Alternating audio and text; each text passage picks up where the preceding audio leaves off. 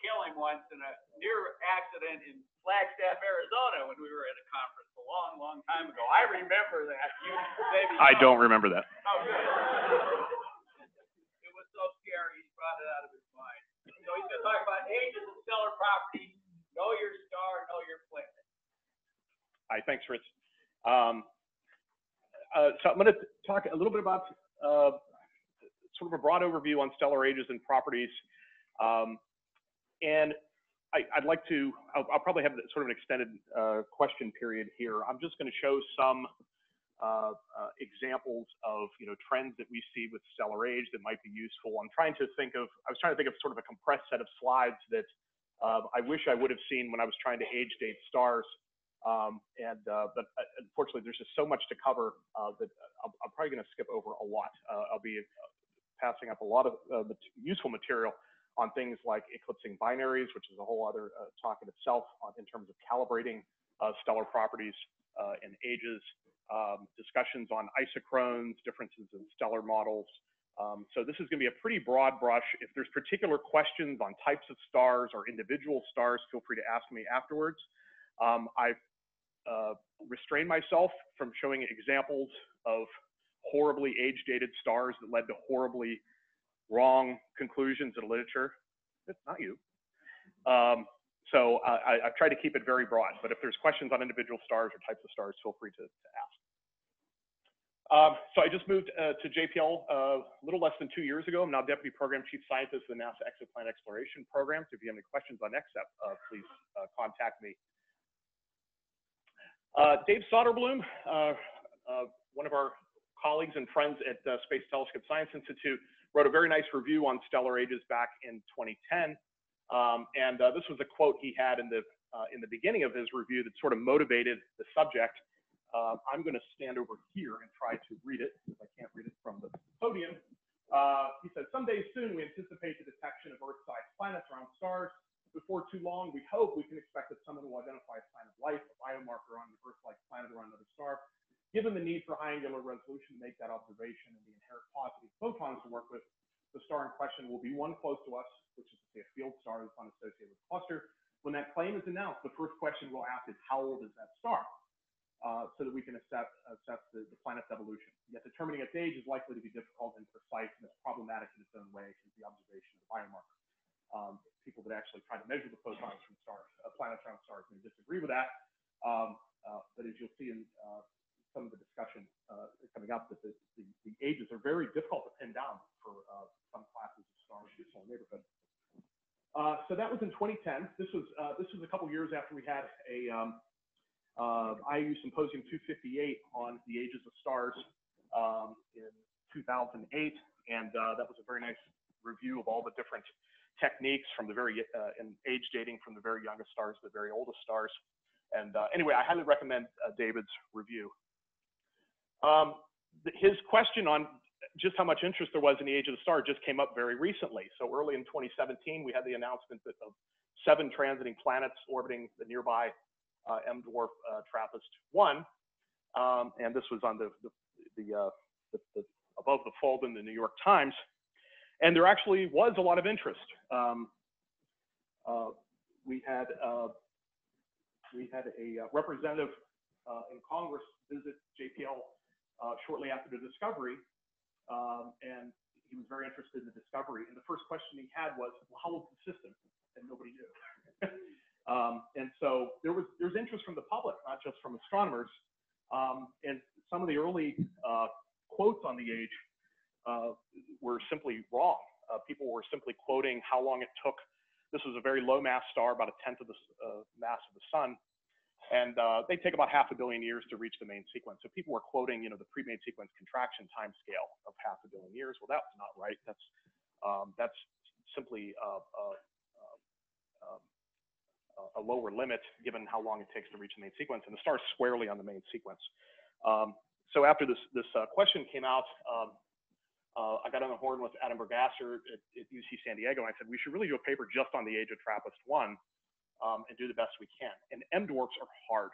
Um, uh, there's not a lot of useful uh, age indicators for them. And at the end of the day, what we were stuck with, most of the constraint is actually from the kinematics of the star. Uh, the star is either an old thin disk star, an old, uh, or a thick disk star. It's, it's clearly older than the sun, uh, but doesn't seem to be uh, older than about nine or 10 gigayears. And so literally the best we could do was about, we quoted 7.6 plus or minus 2.2 gigayears. Um, that's about the best you can do for a lot of the nearby uh, M dwarfs. This was, this was throwing the kitchen sink at the star. And for these M dwarfs, uh, once they reach the main sequence, you think, oh, I can use isochrones, right? We, we uh, astronomers have developed stellar interiors models, atmospheres models. They've evolved them in time, taking into account nucleosynthesis. So we have stellar evolutionary tracks. We stitch together those theoretical stellar evolutionary tracks and we create isochrones. And we plot isochrones with stellar properties like temperature, uh, uh, uh, stellar, uh, sorry, uh, effective temperature, luminosity. Sometimes we transfer, transform them into things like absolute magnitude and colors. And uh, the problem with, with the very low mass stars is they don't evolve very quickly. Um, so the, in fact, the, the HR diagram position, the, you know, the color magnitude position, temperature luminosity position for a star like TRAPPIST-1 is mainly an indicator of metallicity. That's the main, that's the main spread in the, the main sequence because the, the, the star will probably last for about a trillion years on the main sequence, okay? So uh, anyway, this was, this, was a, this was a fun example of a, um, a, star of a lot of interest that we threw the kitchen sink at to try to uh, age date. Um, so uh, my one of my a lot of my early interest is in, in uh, stellar ages and early stellar evolution. Um, so I've looked at a lot of topics in stellar ages and written papers on um, some of the stellar age indicators uh, the last uh, two decades.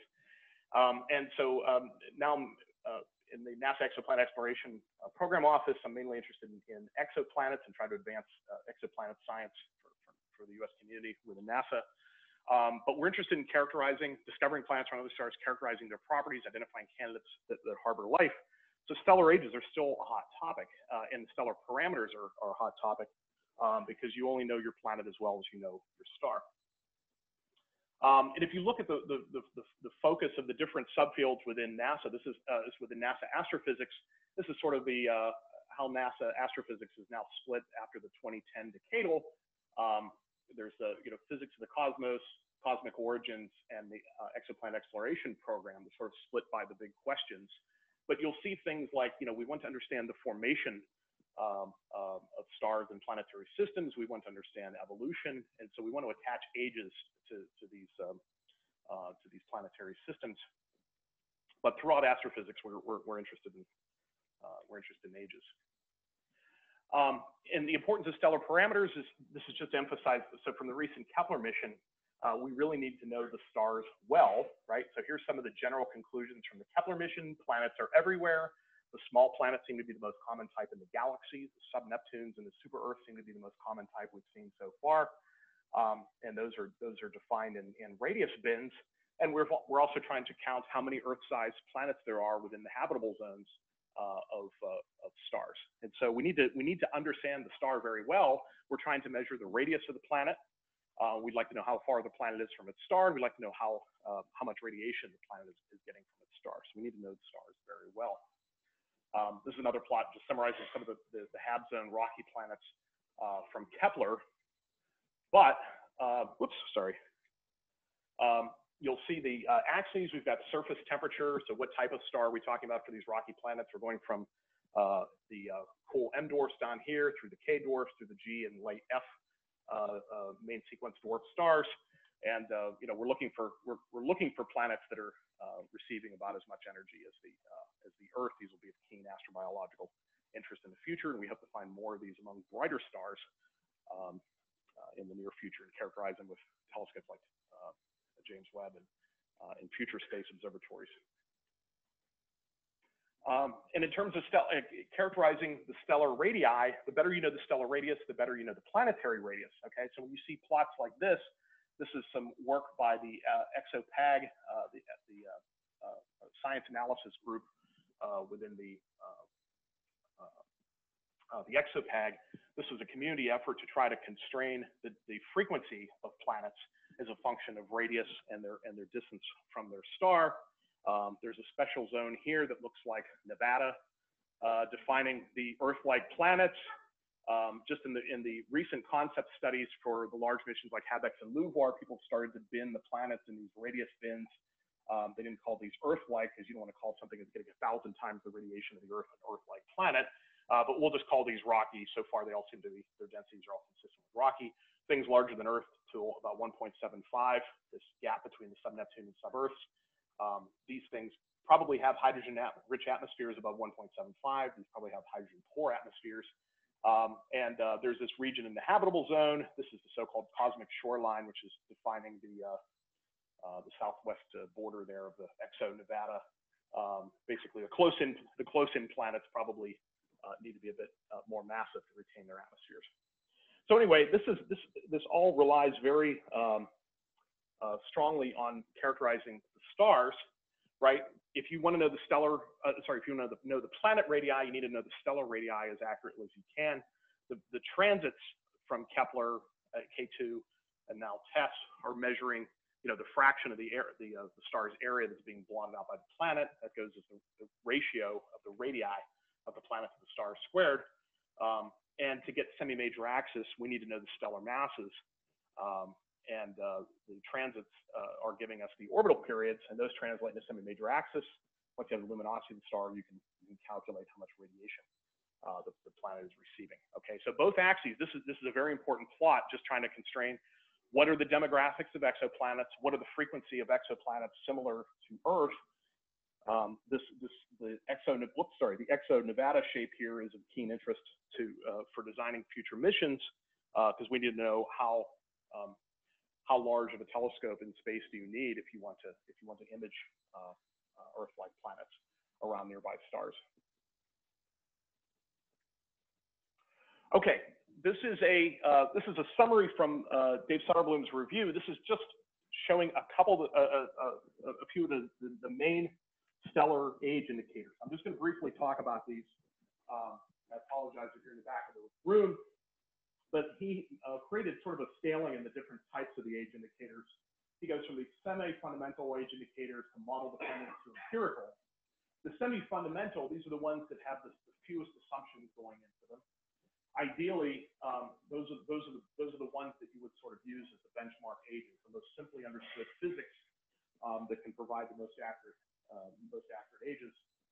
Um, we have several model-dependent uh, uh, age indicators, and these we need to understand the stellar interiors and, stellar evolution very, very well uh, for all three of those. Uh, and then there's the empirical age indicators. These are where we see trends of some indicator versus age, and that age usually comes from some other set of uh, stellar age indicators, so the more fundamental stellar age indicators. So there's sort of a hierarchy in these different age indicators. Um, and just because you measure one, if you have some empirical relation, you know, activity with age, and you measure it very, very precisely, that doesn't mean you can measure the age very, very precisely, because these empirical age indicators are fundamentally dependent on the model-dependent age indicators and semi-fundamental age indicators. Okay, so if you measure the rotation period of a star to, you know, one second accuracy, and you use these calibrations, you're not going to measure the age of the star to, uh, to, to, you know, several significant figures, because there's, there'll be, there will be systematic in those age indicators. So let's talk about a few of these. So the semi-fundamental age indicators, we've got nucleocosmochronometry and, and kinematics. And the way he has this table, he has I is referring to individual stars, E is for ensembles. So think clusters, associations, and in some in, uh, in some cases just the aggregate properties of of field stars in the solar neighborhood. Um, and he sort of ranked them by lower lower cases and higher cases. So if you see something that's like red in, in the upper case, that's sort of the sweet spot for where these are most useful. We split these by pre-main sequence stars, zero-age main sequence stars, main sequence stars, and population two, you know, ancient stars, like the, uh, old field halo stars, globular clusters in the solar neighborhood. Pre-main sequence stars, depending on mass, tend to be sort of tens of millions of years old or less. Zero-age main sequence, this is one of those really silly pieces of astronomical nomenclature that's stuck around for a long time. The zero age main sequence does not define t equals zero for the ages of stars. This is an unfortunate uh, carryover from the mid 20th century. It's just where the where the stars reach the main sequence, and you can there's different ways to define that, probably by minimum radius or where stellar nucleosynthesis becomes the dominant uh, uh, energy uh, means of energy production over uh, gravitational So, uh, for the sun, for one solar mass star, the pre-main sequence phase is less than 40 million years old. Zero age main sequence would be around 40 million years. Um, main sequence will be the next 10 billion years. And population two stars, we're talking about the 10 to 13 billion year old stars uh, in our Milky Way. So the two fundamental ones, you've got nucleocosmochronometry, uh, chronometry, and kinematics. Both of these are really problematic. You would love these to work all the time for every star, that they don't. Okay. Nucleocosmochronometry is trying to measure the decay of uranium and thorium in stellar atmospheres for which we have accurate decay time constants. The problem is uranium and thorium are really rare. Okay. Fortunately, they're rare on Earth. That's bad for us. Uh, but they're also rare in stellar atmospheres, and they're completely swamped by iron lines. Okay. If you look at the spectrum of a typical FGK star in solar neighborhood, you're, you've got tons and tons of iron lines, and they just cover everything. Um, and so these are very, very, the, the lines that you can measure these uh, radioactive, uh, um, uh, these, uh, these, these elements that are decaying, um, they're, they tend to be very, very weak. And so you can only really measure them well in very, very metal poor stars where the forest of iron lines has sort of cleared up. So there aren't many stars where nucleocosmochronometry has been used, and typically, you know, somebody will get a wonderful, very high resolution, very high signal noise spectrum of a very, very, very metal poor star. They'll measure these tiny little lines. They'll apply the, the nuclear decay constant, and they'll get an age for the star like eh, nine plus or minus three gigayears. Okay. So it's you know, thank you for the effort. It's a nice you know, it's a nice confirmation of ages from other indicators. Um, but we really haven't been able to, to, to reproduce, uh, re haven't been able to use those ages on a, on a, over a large number of stars. Um, so it's, it's, it's, interesting work. It provides some uh, sanity check on the ages of stars, but um, it has limited applicability for field stars. So those are mainly for old main sequence stars and POP2 stars, old, you know, sort of 10 to 13 giga year old stars. Then we have kinematics on here, and there's a there's a there's a bright red E, okay, for pre-main sequence stars. Stars form in clusters, embedded clusters within dark molecular clouds. Those clusters seem to disperse. About 90% of those clusters disperse on timescales of about 10 million years. Um, and then a very small fraction of stars will stay in bound open clusters for of order of you know, hundreds of millions of years. And it's very rare to see open clusters that are billions of years old. Um, the unbound associations that those embedded clusters uh, dissolve into so nearby OB associations. Think, think of things like Sco-Cen, Orion OB1, Vela, Vela OB2. Um, the, the idea that's gone back uh, to about the 1950s is that you can measure the expansion of these groups quite accurately in age-dating stars. Um, and this is a, this is the, uh, the the application of trying to measure these expansion ages has just sort of been reinvigorated with the, this, the release of the Gaia DR2 data, which is now providing you know, phenomenal distances proper motions for stars. So this is sort of a work in progress. I mean, up until Gaia DR2, I, and, and I have tried this for multiple groups. I have not seen a kinematic age estimate that was useful and accurate, okay, just across the board. Um, there are there are quotes in the literature of these these ages, um, uh, but you know you can tweak the memberships a little bit. You'll get a very different age. Some of them are measuring the expansions expansions of entire OB associations something that might be on the order of 100 parsecs. The stars that form in this complex typically form over 10 or 20 million years anyway. So how useful is the expansion age? So kinematics has been something, has been a technique, uh, trying to measure the expansion of these groups has been, uh, people tried to uh, apply this over the past decades with whatever the best astrometry was. Um, but it has been very unsuccessful, but there's been, there's been new work now on um, young associations expanding on the Gaia DR2 data. Um, and uh, some of that work's done here uh, at Caltech. And um, um, we'll see if there's some uh, some new uh, new interesting expansion ages that come up come from employing the Gaia data. So the model dependent data, we've got isochrones, lithium depletion boundary, and asteroseismology. Isochrones, uh, there's a large range of space over which you can use isochrones. So this is taking the stellar evolutionary tracks, stitching them together by age, and there's regions in the HR diagram where the stars are evolving quickly and you have a higher fidelity of trying to measure an isochronal age. So usually either when the star is contracting to the main sequence or when the star is leaving the main sequence. And the stars that are high mass are also, uh, they also evolve much faster. So it's much easier to use these methods on high mass stars than low mass stars. You're trying to measure an isochronal age from main sequence, late G, K, or M type star, good luck. You're basically, uh, even, even with the best distances, you're basically measuring uh, metallicity instead of age. Um, so we'll, we'll talk a little bit more about uh, isochrones here. But there's a wide app- applicability of these, and they're, and they're most useful for ensembles. So uh, looking at star clusters where we have a wide range of um, uh, types of star from the high mass down to low mass range, and we can catch stars in these different phases of their evolution um, when they're uh, when they're evolving very quickly. So for, for young groups, for example, the high mass stars may turn off the main sequence uh, by 10 million years. The pre-main sequence stars are still contracting the main sequence. Um, but I, the isochrones are very dependent on the physics that's going into the model, um, and those are those are steadily improving. You can't assume the models are perfect.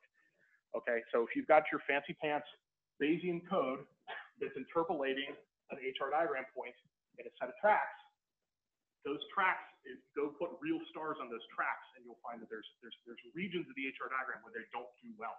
You know, you may catch every M dwarf may look like a pre-main sequence star because the tracks may have left out, you know, magnetic fields, for example, in their uh, uh, in their physics prescription.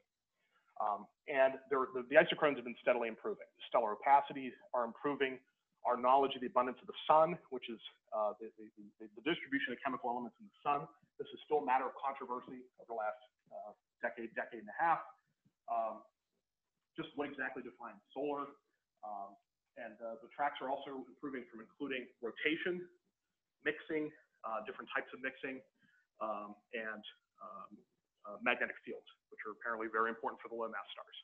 We see these kilogauss fields in the star spots that cover large fractions of the surface of low mass uh, of low mass stars.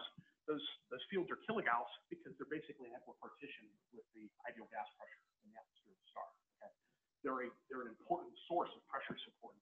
Can't ignore the magnetic fields. Okay? So for decades and decades we've ignored magnetic fields, but they are indeed important. Um, lithium depletion boundary, you see this has an E and E next to it. This is for ensembles, this is for clusters. Lithium depletion, what we do is we've got models that predict uh, how much lithium is consumed uh, in, in, through nucleosynthesis. Um, and what you can see, there's different regions of the HR diagram where this is applicable, but the lithium depletion seems to go fastest for the early M stars, right around M3. Why is that? Those are low mass Okay. the, the nucleosynthesis assume, uh, um, of the uh, lithium depletion uh, is a very strong function of temperature, okay? The core temperatures of the stars are very uh, sensitive function of the, the, uh, uh, the mass of the star. Um, and for the, uh, for the mid-Ms, the core temperature is such that they can deplete lithium within tens of millions of years, and they're fully convective, okay? So they drag material from the photosphere all the way into the core, and they can consume their initial abundance of lithium very quickly. If you go a little bit higher in mass, you look to the K stars and the G stars, you'd think, well, those stars have hotter interiors, so they should deplete lithium faster. The problem is, those stars are high enough mass, they're high enough temperatures, they develop radiative interiors, and the mixing is not as. So the temperature that the, the lithium is reaching, that, that, that uh, hits the photo, that uh, goes to the photosphere, is a lower temperature because it's a, it's a, it's a shell on the star that's further out and temperature is lower, so the lithium depletion is lower. If you go further down from M3, if you go down to like M6, M7, M8, so the lithium depletion is even slower. In fact, you reach regions where the, the lithium is not depleted at all. Those stars are fully convective. They're dragging the material that you see in the photosphere all the way to the core, but the temperature is not high, high enough for the reaction. So you get sort of a sweet spot where the lithium depletion is very strong. The, the physics behind that is pretty well known. We're, we know the nuclear reaction rates. Um, the stellar models are still in a bit of a state of flux because they're now starting to include things like magnetic fields. Um, and uh, there seems to be some dependence perhaps on rotation in, in, determining how much lithium depletion there is too. So for clusters that are younger than about a billion years, this has been one of the ways that we age date them. So you'll see papers on lithium depletion boundaries. People are looking for the range in stellar mass and absolute magnitude where the stars either have a lot of lithium or negligible lithium and that translates to a mass, that translates to an age where the, lithium depletion is, is taking place quickly. So we have lithium depletion boundary ages for uh, very well studied nearby clusters like the Pleiades um, and uh, um, uh, the Hyades, um, IC 2391, IC 2602. So we have sort of a, um, um, a ladder of, of ages, if you will, for nearby well-studied clusters from the uh, lithium depletion. By the way, I just noticed the clock is not moving. Uh, you'll have to 10:56. When do I finish up? 11:15. Okay. Boy, I better move on from this one. Um, I'll close this up, or I'll, I'll try to move a little bit faster here. Uh, asteroseismology, there are, uh, you'll see studies of asteroseismology in, uh, for some nearby, very bright, very well studied, uh, solar type stars in, in the solar neighborhood, uh, things like Alpha Centauri. Um, and you also see them for red giants in Kepler field, where you can study many, many, many, uh, red giants. Uh, but this is basically giving us a map of the sound speed inside of the star. That's telling us something about the pressure and density with the stellar models and, and, and, uh, and for uh, ages. There's these empirical ones, I've, and I've worked on some of these. We see empirical trends. The stars spin down as they get older, so-called gyrochronology. This is basically a function of magnetic braking in the star. Um, I'll show some slides on that. The activity of the star, the chromospheric activity, the coronal activity. Okay, these stars um, are mostly plasma in their interiors. There's convection going on. There's rotation going on. There's differential rotation going on. These conspire to uh, uh, produce uh, magnetic dynamos. Uh, the magnetic field lines, uh, are magnetic fields are produced. They reconnect. They heat the atmosphere of the star, and they can heat the, the tenuous upper atmosphere very hot. We get million degree, tens of millions of degree coronae, and we get these chromospheres that are sort of 10 to the 4, 10 to the 5 Kelvin between the photosphere of the star and the corona, and we can see emission lines uh, from those. And so if the stars rotate, spin down as they age, we can measure uh, these, these empirical decays in the, in the activity. Um, and we can also, uh, there's also decline in lithium just empirically, we can, we can do some, uh, instead of using a whole cluster, we can try to um, uh, do it for individual members of the cluster. Okay. Um, just uh, this just is just briefly talking about the time scales, just to get you thinking about the isochronal ages. The high mass stars evolve very quickly. So I've got uh, this is the main sequence lifetime. I'm sorry, the uh, stellar lifetime main sequence plus post main sequence for stars on the right, and on the left is the pre-main sequence time scale. Okay, and I've just put one solar mass for stars like the sun. So our sun's going to live about 12 billion years. Okay, 10 or 11 billion years on the main sequence the pre-main sequence time scale is around 40, 45 million years, okay? As soon as you start talking about very massive stars, a 10 solar mass star, like the stars you see in the belt of Orion, um, uh, those, uh, those uh, blue uh, OB type supergiants, uh, these stars tend to last, uh, they only sort of stay on the main sequence about 10 million years, um, and they contract the main sequence in only on the order of 100,000 years or so. They contract very quickly. And the very low mass stars, we're talking trillions of years in their lifetime, their pre-main sequence times can exceed a billion years. Um, when we're talking about ages, um, I, some of the talks today are on direct imaging. So I'll, I'll, I'll, talk a little bit about some of the young star ages. Um, if you're if you're studying uh, young in, inflated uh, giant planets through direct imaging uh, or in nearby star forming regions, one of the first things you look at is, is the kinematics. This is looking at the UV uh, the U and V velocity components uh, for nearby young stars. U is the direction of the galactic center. V is in the direction of galactic rotation. The local standard of rest is here. These are the names of some of the nearby young associations. A lot of these are clouds that are still forming stars, like Ophiuchus, Corona Australis, Lupus, Serpens, uh, Taurus, the Pipe Nebula. They tend to have velocities within about five or 10 kilometers a second of the local standard rest. Local standard rest is the circular velocity around the galaxy. The gas in the galaxy that's forming the star tends to move roughly circular. Okay?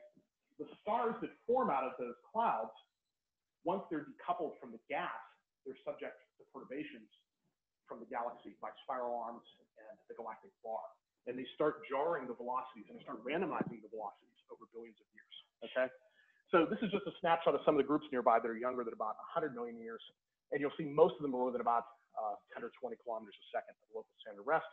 This is basically showing that the, the gas that uh, the stars formed out of is, is very slow moving with respect to local standard rest.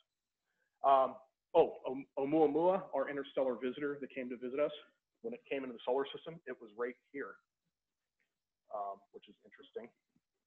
It didn't have a, it didn't seem to have a velocity that was very random compared to local field stars. Local field stars typically have velocities tens of kilometers a second off the local center of rest. Um, but Oumuamua had a very low velocity. Does that mean it was young? Maybe. Um, for the for kinematics, um, I recommend using the new Banyan Sigma code that Jonathan Gagné has, has developed um, and uh, in collaboration with, with San Malo. Um, and we just had a paper come out in 2018 that, that tries to summarize the nearby groups within a, uh, 150 parsecs. But this is a nice online tool that you can enter uh, the latest greatest astrometry, which is usually from Gaia DR2, um, and it calculates uh, kinematic memberships and also takes into account the position of the star. And we're continuing to add, there's, there's new nearby young groups being discovered all the time that are being added to this, this Bayesian membership code. Um, just want to briefly talk about activity. Okay, so this is showing activity as a function of color, B minus V, Johnson. Color, our sun is right here at B minus V of 0.65. Our sun is a pretty chromospherically quiet star. It's a middle-aged old star.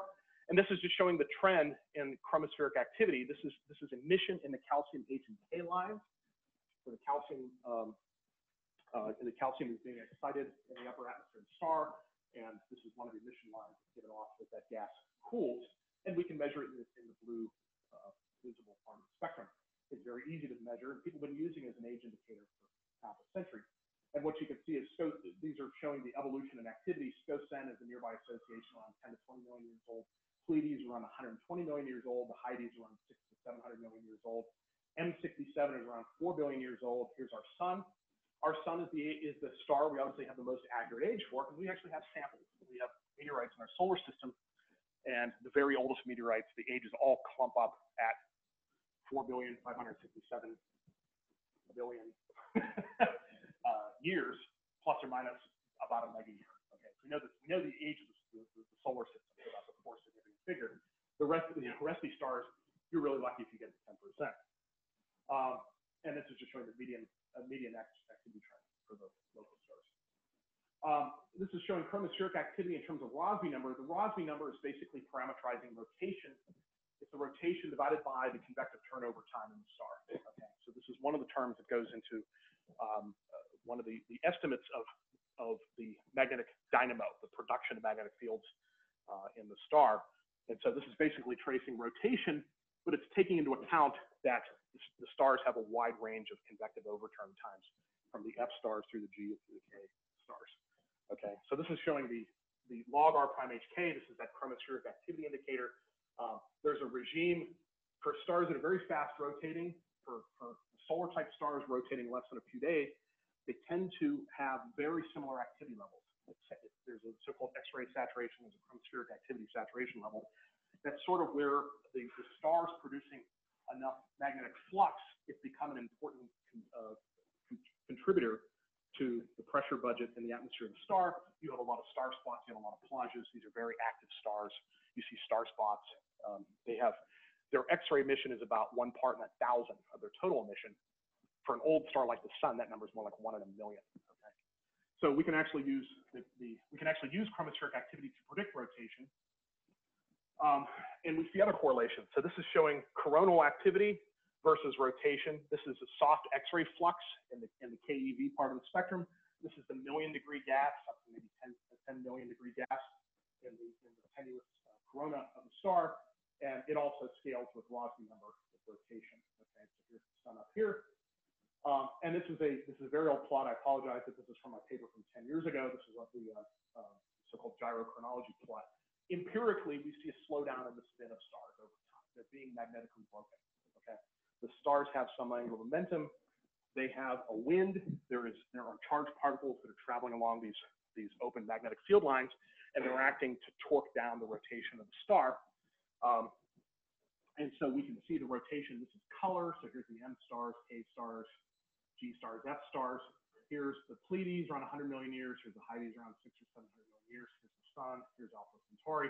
We've now got a lot more uh, points to put on this plot from, uh, from Kepler and other nearby star surveys, but this general trend is, is true. We're still seeing stars are spinning down a function of time. So the rotation rate itself can be a useful age indicator for the uh, solar type stars. there's been some controversy over the last five years. There's been some mixed results that have come from Kepler and from some of these chromospheric activity surveys. And there's been claims that chromospheric activity is not a useful age indicator for some of the sun-like stars. There's been some controversy on just how well rotation is an activity, uh, an age indicator. I just wanted to point out one recent result from Lorenzo Oliveira. Um, this is for a population of 82 solar twins in the solar neighborhood. And this is measuring the chromospheric activity now as a function of age for these solar twins. The solar twins we can characterize very well. We know their, their relative abundances compared to the sun, the relative temperatures, the relative surface gravities very, very well. And now with, with Gaia DR2 parallaxes, we can measure the distances very precisely. So the, the, the isochronal ages for these stars are now on pretty good footing if you, uh, you calibrate them to the sun. Okay, so the chromospheric activity is in fact decreasing over time, and we continue to see this into past about seven gigayears. So the sun looks very normal for its rotation, for its chromospheric activity, for its coronal activity. The sun is typical. There's nothing terribly extraordinary about it in that term. Um, this is an old plot. I was just showing lithium. This is the equivalent width of the lithium 6707 line. This is the strongest lithium line uh, in the uh, visible part of the spectrum. I don't have models on here, so these lines unfortunately are just are just fits to the actual data points. Um, but this is just showing us a range of different stellar populations from weak-line T-Tauri stars, ages less than 5 million years. This is a range of young clusters, tens of millions of years, hundreds of millions of years, up to the age of M67 at 4 gigayears. Uh, and our sun is not plotted on here because its, lithium is, is very, very tiny. But just empirically, if you just plot up temperature versus the strength of this line, you can convert that to a stellar abundance um, but this is just an, empirical way to plot that. You see that the, the, strength of these lithium lines, they go from so strong that you can see them at the telescope as soon as you take the spectrum. You're like, whoa, lithium, this is a young star. Um, as soon as you get to old field stars, the equivalent width for the sun around 5800 Kelvin is like 2 milliangstroms.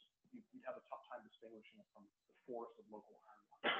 So uh, this is so this is going from the N stars, K stars, G stars, F stars.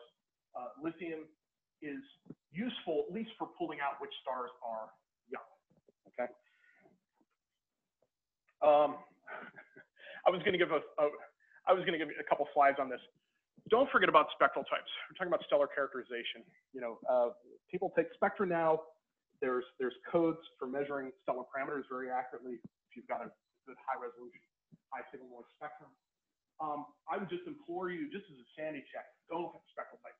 Um, I'm now running into stars in the Kepler, uh, from Kepler, that the temperatures seem to be off by 10%. Okay, that's inexcusable now in the 21st century. You should never be off by 10% in a temperature.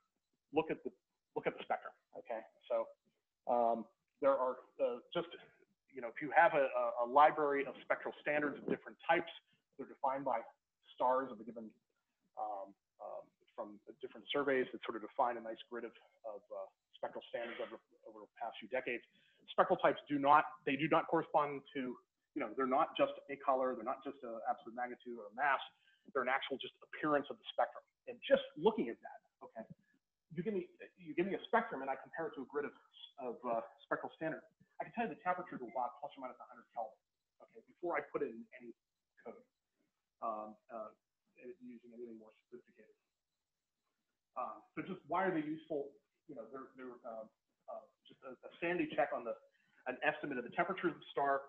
You can't ignore reddening. We need to we need to um, be able to compare the intrinsic temperature, uh, the, the, intrinsic colors of the star to the observed colors and try to get an estimate of the reddening and the extinction. Um, so anyway, I, am just just in terms of trying to improve stellar radii and, and, and the, the stellar reddening, which factors into the stellar luminosity, trying to improve those. Um, I would just say, um, please take a look at the spectral type of the star. Um, M dwarfs are uh, their own uh, uh, bag of problems. I'd just like to refer you to some recent work by Andrew Mann and some recent work from the PhD thesis of Elizabeth Newton on characterizing nearby M dwarfs. Um, now we're getting to the point where temperatures and uh, luminosity estimates um, and metallicity estimates for the M dwarfs are starting to become very good. So I'm just going to refer you to some of the, the recent work on um, on the very low mass stars from those authors. Um, back to Soderblom. Let me, I don't have much time here. Uh, one of the questions I get a lot is, what's the age of HD blah, blah, blah? Okay, I get these emails all the time, about once a month. Somebody emails me and says, I found this thing. It's a disk, it's a planet, it's a, who knows, Dyson sphere or something. Okay, I never get that. Um, they want to know what the age of the star is. Okay, what do I do? The first thing I do is I plug the, na- the name of the star into SIMBAD and Vizier, um, and just just get a sense of the stars. The star multiple is very well studied, um, and and that sort of sets up the the, the, the, the future efforts to try to characterize it. Um, if you type into Vizier, I usually leave a pretty generous search radius because a lot of the positions in the old catalogs are very bad. um, or if they're X-ray sources, they maybe um, the positions can be off by tens of arc seconds. And you want to look at the astrometry of the star, Gaia DR2, the Hipparcos catalog, some of the recent ground-based catalogs. Uh, get a handle on the photometry, the near-infrared photometry, thermal infrared photometry, some of the compendia of optical photometry. Um, somebody's probably measured spectral type for it. Great sanity check before you do anything else. Okay, you'll get a sense of whether the star is red or not when you compare the colors to the actual spectral type of the star. There's now compendia of, of uh, metallicities from different surveys. Uh, look at the space velocity of the star. High velocity stars tend to be older. Low velocity stars, you got to do your homework. It could be an old low velocity star, could be a young high velocity star, a young low velocity star. Um, and look for compilations of activity indicators, rotation, look for evidence of membership in uh, either to a stellar multiple or to a stellar group. Um, am I into the question period right now?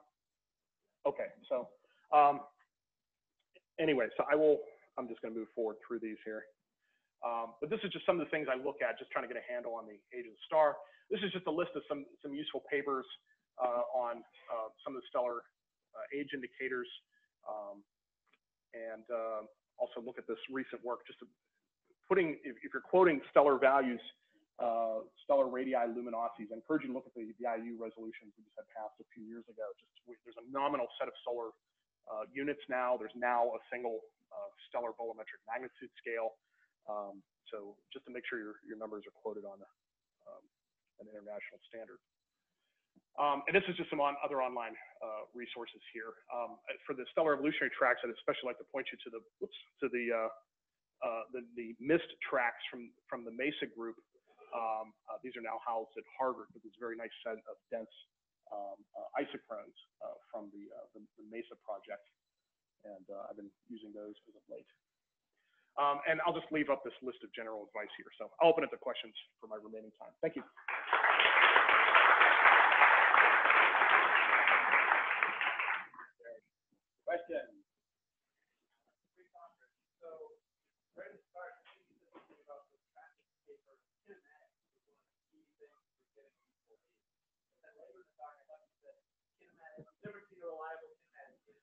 I, I should say a reliable, okay. That's a good footnote. So the, the, the, question was, you showed TRAPPIST one, and the best age indicator we had for TRAPPIST one was the kinematic age, and then later I said the kinematic ages stink. Uh, yes. So that, that was, uh, the kinematic ages that were quoted in the table are actually expansion ages for young groups. So the kinematic age we quoted for TRAPPIST one, this was based on the distribution of ages for stars with similar velocities to TRAPPIST one if you look at the, it's a, it's a high velocity star, if you look at its position in velocity space and you compare it to the ages of other stars of similar velocities, nowhere near the local standard rest. They tend to be old thick disk and, uh, and sorry, thick disk and old thin disk stars. They tend to be sort of, you know, six, seven, eight, nine gigayears. Um, and you saw the error bars are fairly atrocious. You're probably not going to do much better than that with a, a kinematic age for a field star. Um, so I did not, yeah, the, the table from Soderblom did not list the, the uh, that that type of age. If anybody has a better age for TRAPPIST one, please tell me.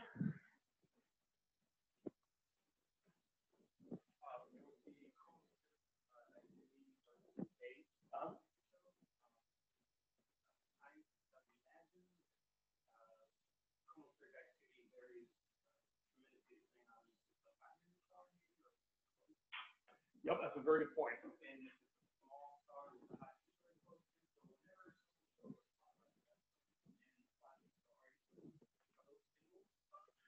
Those are those are mostly single stars. So the, the question was with with the decay of chromospheric activity with age, what about you know pathological cases? What about close-in binaries, close-in planets?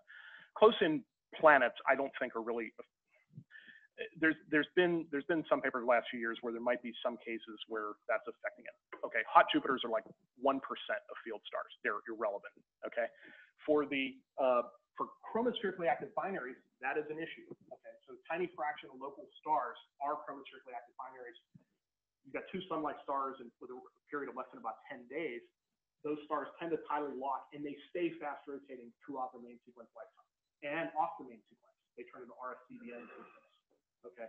So those tend to be saturated X-ray emitter, very strong chromospherically active stars, but they stand out really strongly. Uh, you, you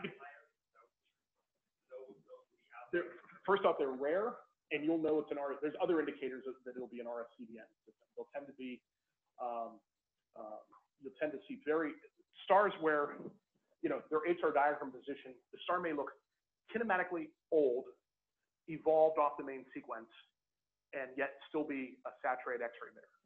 Um, we had a, I'll tell you one funny case. We had a pathological star we found about seven or eight years ago. This was Eric Dubar, who's a postdoc at Rochester. We found a star that we thought was a runaway T-Tauri star.